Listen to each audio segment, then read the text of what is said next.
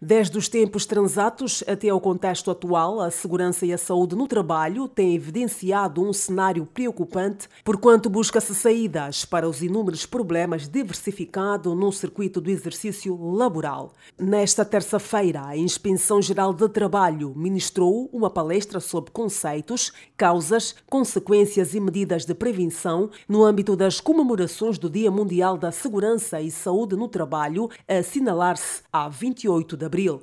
O inspetor-geral adjunto para a área de Segurança, Higiene e Saúde no Trabalho, Mário dos Santos, disse à imprensa que, quanto ao número de acidentes de trabalho ao nível do país, estatísticas da Inspeção-Geral do Trabalho apontam para uma cifra de 280 acidentes de trabalho, com uma vítima mortal.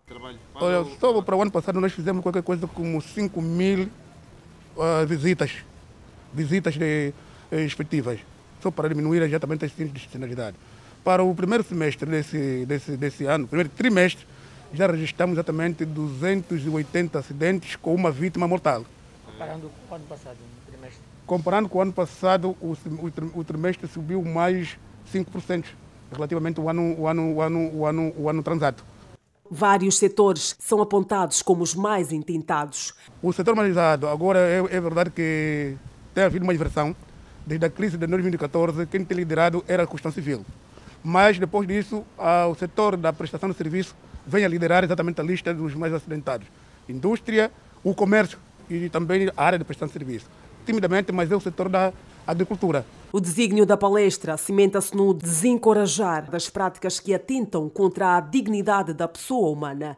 Epifânia Aguiar é funcionária, almeja encontrar esclarecimentos para questões ligadas aos transtornos psicológicos repercutidos por uma conjuntura laboral. É, há um ponto que me chamou a atenção, que é relativamente à avaliação psicológica do trabalhador dada a nossa atividade não é específica, é, que requer muito esforço do, dos próprios trabalhadores e não só, da especificidade da atividade em si. Então é um, é um ponto que me chamou a atenção porque, sinceramente, eu até gostaria que uma peça dentro da, da, da, da parceria que a Matapalo é, poderá ter com, com o Estado, nos elucidasse mais acerca de identificar, é, de identificar o trabalhador que no momento psicologicamente não está bem a, a, a exercer a sua atividade e como podemos sanar. Como podemos sanar. Esse é um dos pontos que logo a, a, a de início a palestra fez-me chamou-me a atenção.